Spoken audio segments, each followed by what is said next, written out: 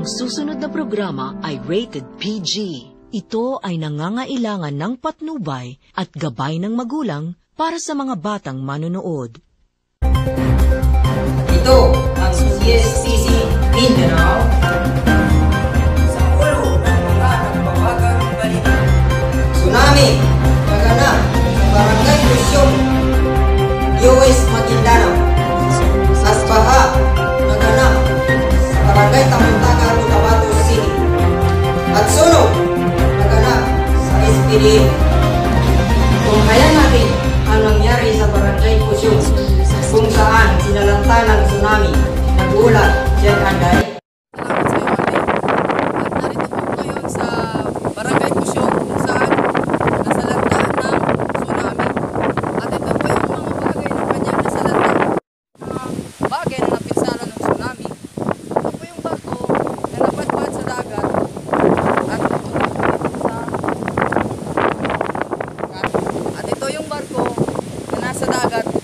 at nadala ng malakas na tsunami at napunta sa dalampasigan. Ito po yung barko na iyon.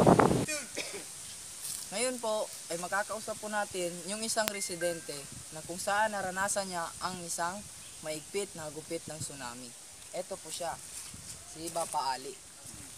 Bapa Ali, so kina lindol banto na ang hininanggulan ng kinakuan kano batada hinugulanan ga. Mapasa ng ulang umang ka. Ka pa kuha na ka. Buwanan si kuha na may. Hindi ka din na may pasanda ka. Bali suig na po ninanggulan no ig. Kala malakan nga ate ka. Hinatay, Nama labi. Madami. bali sa kando ka nakambakwit, sige kinakuanan to. Lakan makambuhay tayo. Sa kwenta mo taka. Oo na, ma malo mapasang. Mapasa ng ulang umang. Sa bata. Kaya na kami ng ulo. Na, At yan po. At yun lang po, at balik sa'yo, Ismail Ali. Ali. Salamat Jet Anday. At kung kaya na naman natin ang nangyaring baha sa Barangay Tampaka 3, Cotabato City, kung saan sinalanta ng baha ang mga kanilang mga lugar at maraming naapektuhan sa kanilang mga bahay sa kanilang pamumuhay. Nagulat ng aming uli Ismail Ali. So nandito po yung sinasabing tubig na pinaghuhulan ng ano, baha dito sa Tamuntaka 3, Barangay Pagalamatan, Tamuntaka 3. So kita po natin umaapo po siya sa tuwing lumalaki ang ilog na lumalaki yung tubig sa ilog. Salamat Ismail Ali. Yes, tunghani muli. So ngayon, hanggang saan umabot ang baha na nanganganap dyan sa Barangay Salamat Ismail Ali. Hanggang dito po ang baha nung nakaraang taon ayon sa nakausap ko na isang residente dito sa Tamuntakat. So sir, mag ah, ilang months po ba at gaano katagal yung ano dito, baha? Ah, mga six months siguro. Six months. Saan? Pero babalik-balik. Parang bumabalik-balik. Oo. So hanggang saan po ba ang kalalim ng tubig sukat sa riverside? Ayun, andito. Hanggang dito po. Yung hanggang ka, hanggang o ano pong inabot nung month niya po. Ang tu- tumagal yung tubig dito. Ah, si, siguro mga six months. Six months po. Kung saan po nagsimula nung month or year? Ah, mga 2009. 2009 po hanggang Ang Kaso lang, pabalik-balik. bumabalik yung baha. Oo. Back to you, Smile Ali. Salamat tunghani muli. At ngayon, tunghaya na naman natin ang nangyaring sunog sa Barangay SPDA kung saan linamon ng apoy ang mga kabayan noon naggulat Ismail Bayaw Salamat, Ismail Ali. Nandito po tayo ngayon sa Barangay SPDA kung saan makikita po natin na pinasunog po yung mga kabahayan dito. In na itong mga kahoy, mga poste ay nasunog.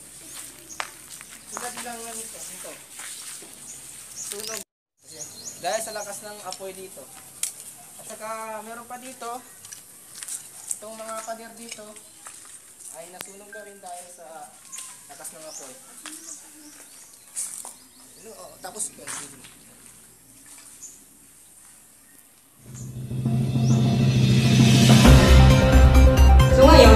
ano ang naging sabi din po ng sunog dahil sa mga batang naglalaro ng kandila at saka posporo. Isa pong residente dito sa SPDE na kung saan apektado sila sa nasunog dito. Um, magandang umaga po. Ma'am, sino yung pangalan mo? Si Lumbay. So ano po yung nangyari dito? Bakit po ba nagkas kuwan, nasunog itong bahay na to? Ano yung kadahilanan? Tapos si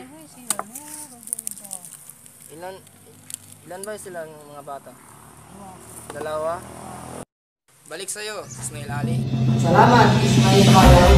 May tips si Lamesa L. Claire kung paano umiwas o gumanda sa mga susunod na mangyayaring kalamidad.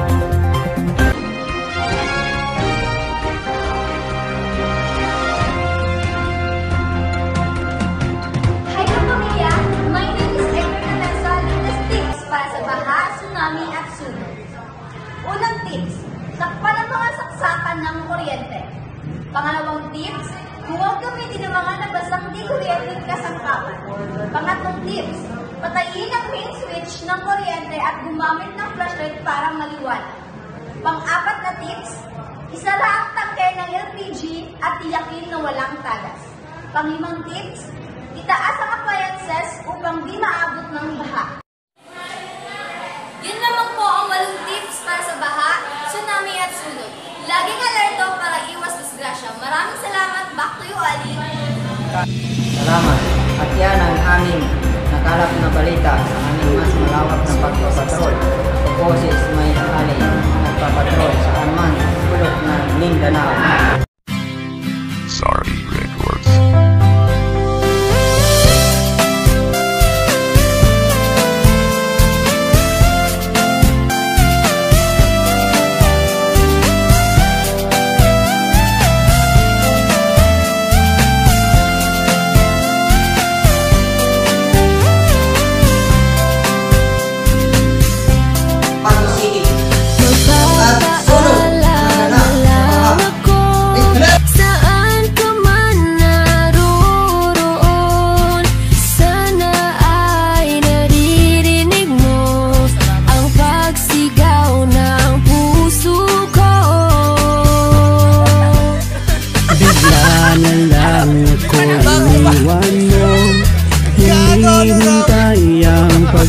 galit mo.